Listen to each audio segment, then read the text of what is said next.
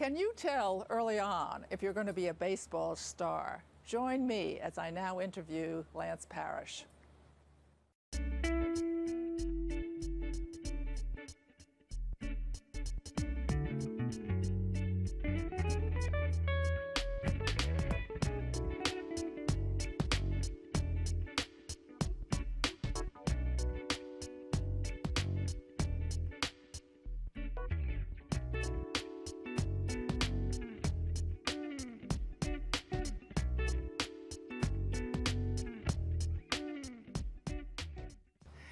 Everybody, and welcome back to Uncommon Sense. We have a thrilling program for you today as I interview Lance Parrish, our coach of the Great Lakes Loons, uh, an important position.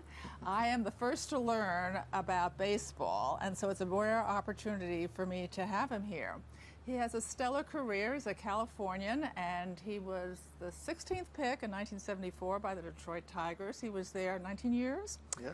And uh, was six times part of the Tigers All Star team and eight times part of the league's All Star team, and three times a Golden Glove and four times a Silver Slugger, and oh my goodness, 10 years as a coach. And he's been a coach in the bench, in uh, third base, in hitting, and I'm missing one. but anyway, I understand the catcher gives the signals to the pitcher, and this is like really important because it's a mind game, baseball, between the pitcher and the batter. What preparation, how do you train yourself to be a really good catcher since this is the pivotal position on the team? Well, I'll be honest with you. It, uh, it's just through trial and error, and and uh, uh, catching an awful lot of games, and working with an awful lot of pitchers, and a lot of uh, coaching staffs, and just trying to figure out the right formula and, as to what really works during uh, during any given game. You know, you never have any game identical to the last or the, you know, they're all different. They're all different, and every pitcher that you work with in any given game is going to throw a different type of a ball game. It's a constant game of adjustments. Uh, whatever pitch you call, you're trying to outguess the hitter, or, or the pitcher's trying to throw a pitch that uh, he might uh, feel that is his strength at that particular time, or might be throwing a pitch that's directed at that hitter's weakness at that given time. So, you know, there's a lot of thought process that goes into it. Sometimes it works, sometimes it doesn't work. But uh, Like you- life. you're always trying. That's exactly right. Do you watch tapes of, uh, of a, an opposing hitter's game so you sort of get what they're good at or how they move? You know, you know, we, we do have tapes, and actually, uh, a few years ago, when I was still with the the Tigers coaching staff, they have a uh, a scouting group. It's a national scouting group now, that uh, all they do is watch games on television. No and kidding. They, and they scout each individual player, and they chart everything that they do, whether they're a hitter, whether they're a pitcher. They, they scout their tendencies. They chart their tendencies. Hmm. So whenever we would go into, let's say, for example, we were going into Minnesota to play the Twins, Right. there would be a box waiting for us of and everybody got a notebook and it had uh, every player on the team and probably for their last 50 at bats what their tendencies were during those last 50 at bats the pitches that they hit uh, in little quadrants in the strike zone what they hit for averages in those quadrants the pitches that they were had more of a tendency to swing at and miss the, pitches that they had trouble hitting whether it be an off-speed pitch or a, a fastball up down inside outside. So they really leave nothing to chance anymore. They don't quite get that elaborate in the minor leagues but at the major league level they've got all that available to them now. And it's just a, a period where you just go over and over and over and over guys. As a catcher I think the best weapon that you have is just to pay attention to the guys that are up at the plate. If you face a team more than once, uh, usually you can see in the first couple, three at bats that they have what they're really trying to do as a hitter. You know, I always try to tell my catchers now if, uh, if a batter's diving at the ball, uh, you know, you're probably going to be able to get inside on him. If he's pulling off the ball, then you're probably going to be able to get him out throwing pitches away from him. If they sit back, if they lean forward, if they lean back, you know, those are all the little intricacies you have to watch when you're watching a hitter as to how you call a game as a catcher. And then up and above all that, you have to be able to know your pitcher's strengths and weaknesses and what they're capable Yeah. of doing. So it kind of all works hand in hand, and it's kind of a complicated process. But after a while, it gets a little bit easier. Does a hitter change uh, his intention during the time he's up? For example, if the strike does he changes his feet or changes his idea of what he wants to do. Uh, you know, they do. Most of the time, uh, early in the count, before a hitter gets two strikes, he will just try to, in most cases, Yeah. uh, take his normal approach to the ball, try to drive the ball wherever it's at. Usually, when they get two strikes on them, they try to uh, probably open their stance a little bit more to have more of a, a solid base um, so that they can protect themselves from shifting their weight as much as they probably they really wouldn't want to shift their weight. It's easier to keep your weight back and keep balance when you've got a wider base. Oh. So because they're trying to protect against breaking balls and fastballs and all that, uh, you know, the first two swings, as they say, are usually the hitters. And then after that, once you get two strikes, you try to widen your base and you just try to protect. You just try to hit the ball wherever it's pitched, whatever the pitcher throws you. Uh, a lot of guys will practice that, some guys not so much. But uh, that's generally what they try to do. Baseball is sort of an intellectual game in a sense, isn't it? I Well, more like so than people but- would think, yeah. But you know, maybe more than the other because you're sort of interacting, like you say. You know, it's a, it's a cat and mouse game between managers. It's a cat and mouse game between pitchers and catchers and the hitters and vice versa. And, you know, you're always trying to be one step ahead of the, the opponent, and they're trying to do the same thing with you. That's why they have all these signs that they put on and uh, uh, try to put different plays on uh, hit and runs, bunt plays, squeeze plays, uh, different things like that. You always try to try to gain an edge, an advantage somehow. And uh, usually the manager, because you know a lot of things that we do anymore are really no secret to anybody. It's just exactly when you're going to do them. So you know a good manager will try to s- stay a step ahead of what's really going on in the game and try How to does he do that? well, uh, just through years of experience. Uh-huh. Through years What's of he experience. looking for? Uh, situations, Uh-huh. tendencies, and situations. Uh, usually late in the game, if uh, say for example, if we were down by a run Yeah. uh, late in the game, and we got our, our first hitter up to the plate, uh, and he got on base. Well, the opposition would assume in that situation that you're going to try to bunt him over to second base to try to get him in scoring position, and that's generally what everybody does. Sometimes he might, uh, you know, because he he knows that you're thinking on along the same lines that he's thinking, might try to hit and run right there, or might try to just have the guy steal, or might do a, a you know, a few different things, and not just go with the conventional, you know, sacrifice bunt. But generally, that's the way the game's played They use hand signals. How often do they change what those hand signals mean? all the time. Like the within time. the game? Well, other game? sometimes. Oh, you know, sometimes if uh, you know, sometimes you might see, for example, a catcher behind the plate giving signs to the pitcher. Now, generally, when there's a man on second base or there's a man on base, um, you know, the, the signs will be different. If there's a guy on first base, you'll have one set of signs to the pitcher. If there's a man on second base, you try to change them up so that the runner on second can't pick them up. I see Uh, they'll give indicators and all that and change things around. And every now and then, the uh, catcher might see this, the runner that's on second base may be doing something that he feels might be tipping his pitches off her location. So he'll go out to the mound and tell the pitcher, okay, we're switching over to this or that. And then it's, you know. Are there several sets of? oh, of- yeah. Oh, yeah. How many sets? What would well- the range be? For any given team, I would say there's probably three or four different sets of Oh, signs. that's a lot. Yeah. Do you find coaching different, uh, or what would be the differences coaching a major league team versus a low A? Egos. Egos. Tell me about that.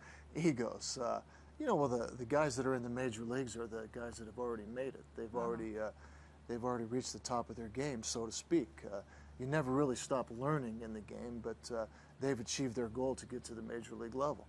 Uh, in most cases, they make a lot of money, and in most cases, they think they know more than you know. so, uh, uh, you know, there there's uh, gosh, there's a uh, little bit of a psychologist's mentality involved when you become a coach because you have to be able to get along with your players. You have to be able to lead your players. You have to be able to get them to follow the uh, ideas and the leads that you have for them to follow. And sometimes, How do you do that? well, you just have what to. do you have You to- have to gain their trust, and you have to earn their trust. By doing what? Uh, just by being consistent with them, and and uh, you know, I, I guess as a manager, you have to lay the law down and stick with it, and you can't back down. Because if you back down with one guy, everybody else is watching that, and they figure if one guy can get to you, then there's no reason why I couldn't get to you or everybody else on the team couldn't get to you. That's why I think a guy like Jim Leyland has done such a great job throughout his career and also with the Tigers the last couple years because he's known as a no-nonsense guy. He lays the law down. That's that's the law. He doesn't vary from that, and he doesn't. It doesn't matter to him if you make, you know, the minimum salary in baseball or you're making 15 or 20 million dollars. The one thing that he has always said all along, because I had the opportunity to play for him, is that you have one privilege in baseball, and that comes on the first and 15th of every month. Everybody gets their paychecks on the first and the 15th, and beyond that, you're no different than anybody else. So he tries to treat everybody equally. He tries to discipline everybody equally. Everybody's on the, the same People team. appreciate that. Oh, I think they do. Oh, I really do. When you were, were young, what drew you to baseball? I just love to compete. Mm-hmm. Um, you know, I played baseball, football, basketball whenever I had the opportunity, but I think my true love was baseball. And, uh, you know, at a young age, having a chance to uh, either play in the neighborhood with uh, some of the guys in the neighborhood or down at the schoolyard or eventually when I got into organized baseball, I, I just, uh, I was pretty good at it and I enjoyed the competition and it was just a, a lot of fun for me to do. So I, I stayed with it. And, and, you know, each level that I moved up, I continued to have a little bit of success. So, you know, I was fortunate when uh, high school rolled around, and at the end of my high school uh, years, uh, Detroit Tigers came knocking and wanted to draft me. So, to me, I had an opportunity to go uh, to UCLA to play football. I had a scholarship oh. offer there. So I was going to play football and baseball at UCLA out in California, or I could just sign with the Tigers and get paid to play. So yeah. it really wasn't that difficult a decision for me. Did you have a great, did you have an early recognition that you had this talent or that you build up the talent? How does that work? You know, I don't think you really ever know how good you are at, uh-huh. at any given time. I mean, I, uh, I just love to play, and, and I was, I was pretty good. I mean, I, I did some things that, uh, you know, after a while, it was like, you know, hey, I'm pretty good at this, and I had people come up to me and say, you know, you, you know, you, you've got some talent in this area, or you could do these things well, and uh, I don't know if you really actually, I, I should say I, I, didn't know at any given time if I was ever good enough to play in the major leagues. Mm. Um, I was just enjoyed playing at every level that I went to. I had guys, some of the coaches that were in the uh, high schools that I, we played against, that told me that I was going to get drafted, that I was oh. going to get drafted in the first round, that I should ask for this much money when I get drafted. Well, that was so far beyond my thinking at the time. It was just like I just was enjoying what I was doing then, and. Uh, eventually, when the Tigers did draft me, uh, you know, I, I kind of took it a step at a time. It was like I was just thankful to have the opportunity to play professional baseball. What a great attitude. And then uh, my thought was never really I would be. Uh, I guess I would be crushed if I never made it to the major leagues. I was just happy to be playing professional baseball. And after my first couple of years in minor league ball, I found out that it wasn't as easy as it had been throughout my career up to that point. I wasn't so sure I was actually going to make it or not. But when I did make it and got a chance to play in the major leagues, it was uh, it was awesome. I was it was very. Are there rewarding. people who recognize from the beginning or are are seen to have an extraordinary talent, or is it more you grow into it as you did? Well, I think uh, there comes a point in time when you honestly recognize that you are pretty good athletically. Yeah. But you know, I've seen a lot of great athletes come through baseball and never make it to the major leagues. Uh-huh. You know, there's uh, there's a little intangible involved there. That, oh, what uh, is that? It's consistency. You know, and like I say, uh, been a lot of number one draft picks that uh, have come and gone and never had an opportunity to play at the major league level. And you know, the game's not as easy as people think. And uh, where you might have been successful in college or high school, it's not always as easy in professional baseball. There's even been guys that have been, you know, successful all the way up the ladder, all the way through uh, professional baseball as far as they get to the you know, the major leagues. They might have had great minor league careers and put up fantastic numbers, but every time they get a chance at the major league level, they just can't seem to to Maintain raise their it. game to that level. So you know, it's it's not easy. It's it's very difficult, and you don't only have to do it once in a while. You have to be very consistent to make a career out of it, and that's not too easy. What, what did you have to learn in, in terms of getting along with your colleagues on the team when you talk about big egos?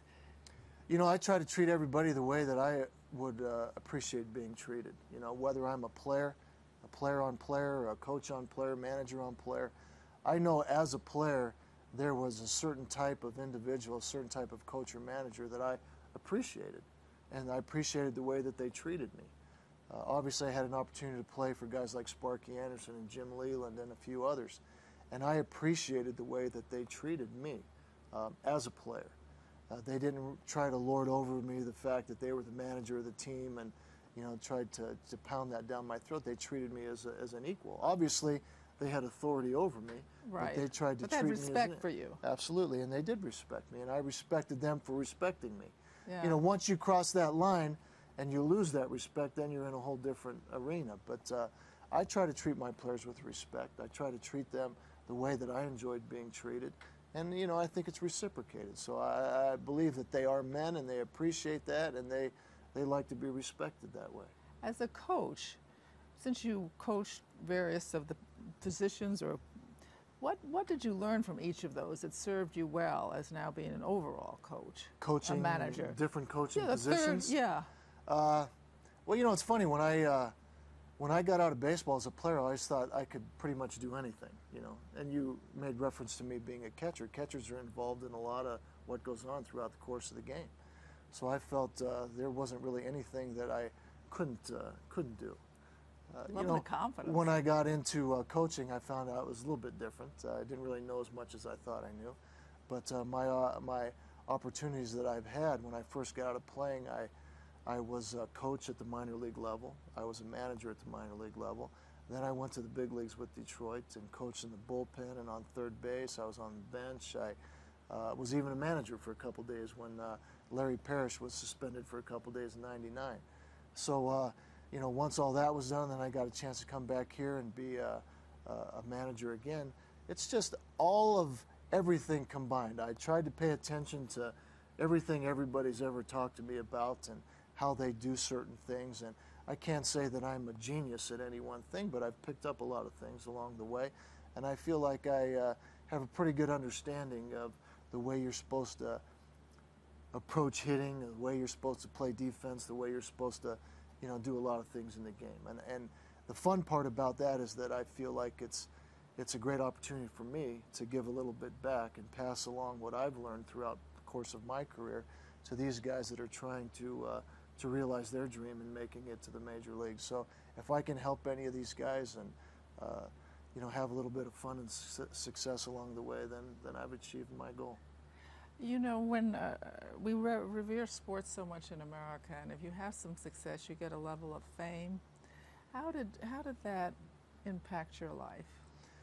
You know, I've uh, I've never really I guess I've never really felt comfortable with the fame part of it. Yeah. Uh, I don't.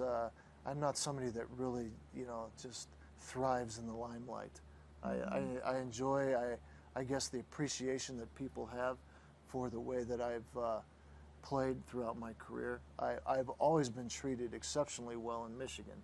Uh, everybody's always been very gracious to me every time I come back here in whatever capacity. Uh, first as a player, and then as an opposing player, and then as a coach, and uh, you know they've always been great. They've always treated me really well, and I, and I do. Um, my wife and I both, our whole family, re- really appreciate that. But um, you know, it's uh, the fame part of it. It's it comes and it goes. You know, I, I would rather be treated just like you know your everyday guy. Uh, I, I like I say, I, I appreciate the fact that people still remember my career. I remember some of the things that I did. Was a part of the World Championship team. But beyond that, I don't. Uh, I don't seek anything beyond that. It's. It's just nice that people come up to you and recognize you and say hi and you know love the way what's you the, played. What's the role, Arlene, your wife and I, and you were talking beforehand, and I was asking about moving around and how does that impact family life. And, but what is the role of a wife of a baseball player? I mean, those are intense periods of training and, and then playing, and then I guess there's a quiet time. What does a does a a, a woman married to a baseball player have a, a role in his life other than Oh. the personal? Absolutely. My wife is, uh, she's the president of the company, more or less, uh, for lack of a better term. She, she does everything, she is everything, she has to keep uh, everything together. uh, I can't give her enough credit for all the sacrifices she's had to make and all the things she's had to do throughout our entire marriage. Uh, with the kids, with the moving, with the, you know, she could come in here and tell you a thousand stories about having to haul the kids across the country and climb on an airplane with three little kids and toting bags and uh, trying to keep them all quiet and doing the luggage. And, you know, when I'm gone, uh, when I was playing and had to be gone all the time, and, you know, she has to run the entire house. She's mom and dad. She's the cook, she's the housekeeper, she's the everything. And, and I just kind of come and go and, and uh, tried to do the best job we could as a team to try to keep everybody uh, focused and uh, really a part of the family. We tried to do things during the off season together as a family. Mm-hmm. But you know, during the season, especially when the, the the kids got a little bit older and they wanted to stay in one place and they wanted yeah. to be with their friends and they didn't want to move around all the time, it became especially difficult for um, us as a family. You know, Arlene and I had a difficult time, uh, you know, trying to to find time to get together, to yes. uh, to find windows in the schedule to to bring everybody, you know, either to a city that we were traveling to or for them to come out to where I was at. You know, we we had our home base in California, so when the kids were all in high school, and uh, you know, we'd look forward to uh, the school season being over, and then find have to find out that one of the kids had to go to summer school, so that kind of yeah. shot down all the plans. Uh, so you, it was just a constant adjustment period for everybody. But I will say that my wife did an awesome job. Yeah, our kids are like our that. kids are incredible, uh, and uh, we tried to just ham and egg it and do the best job that we could. If um, one wanted to become a coach in baseball, what are the avenues one one could do besides being a player for a major league team? How do you prepare for that kind of a well, you know, a lot career? of your a lot of your coaches are not. Uh, or actually have not been in the major leagues. A lot of your coaches are guys that never got out of the minor leagues, but they love the game and they want to stay in the game. Uh, there's an awful lot of uh, high school and college coaches that never got into professional baseball. They just love the game and they either got involved at a uh, little league level or uh, uh, a little higher level than that, or maybe even just jumped into it uh, in high school.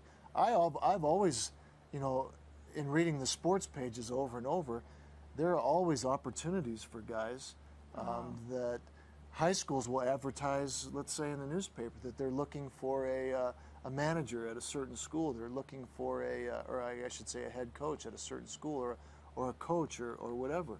There's, there's always opportunities. Um, you know, you just, if you love the game, you get in the game, and, and so you can really transfer between you know high school coach and a low A well, sure coach. you can. I mean, there's no guarantees. I mean, Yeah. you obviously have to have a little bit of luck in there, and it's kind of who you know sometimes. But you know, there's always opportunities for guys to bounce around and move up the ladder, and you know, everybody takes different avenues. You would think a manager would have to go through a certain process at the major league level to become a manager, but there have been guys that have come right out of the radio booth or right out of the TV booth that have never had a day's experience managing whatsoever, but yet they've been chosen to become the manager of a major league team. So that in itself doesn't really make a whole lot of sense when you actually look at uh, the criteria involved, but but it happens.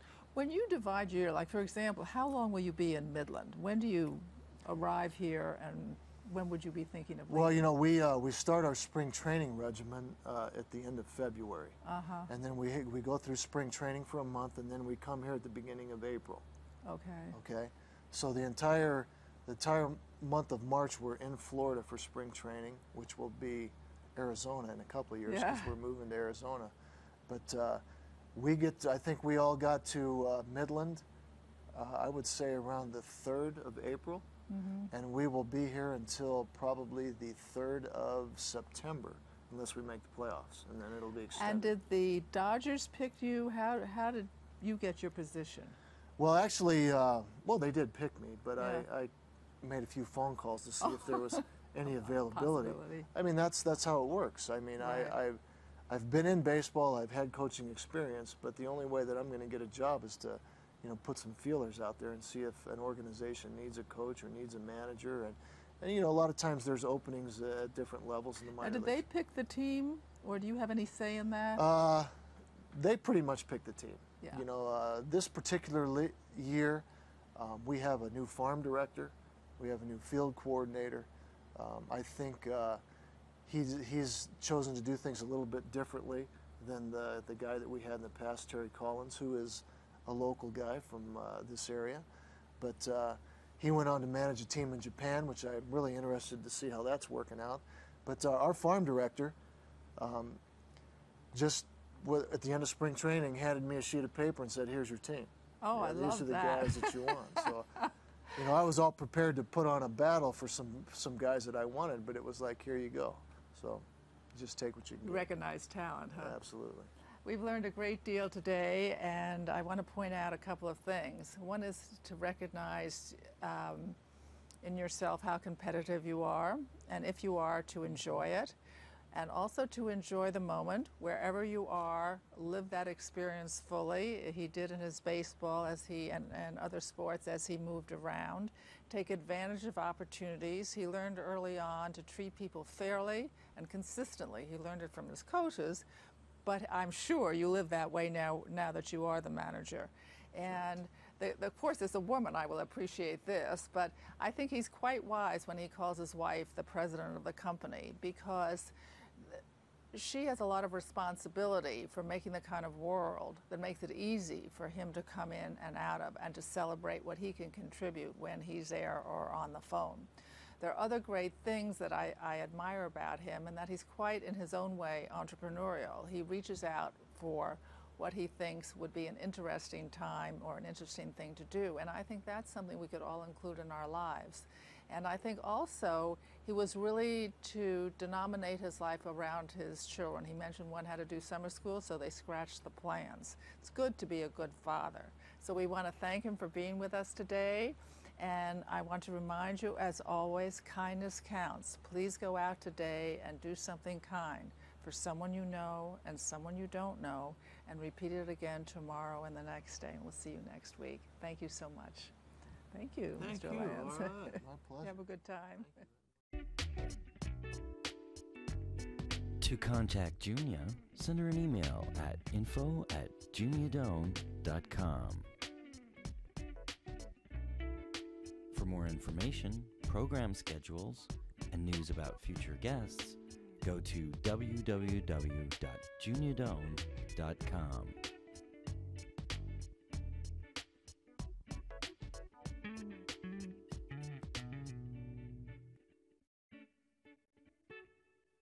Thanks for joining us. See you next time for Uncommon Sense with Junia Doan.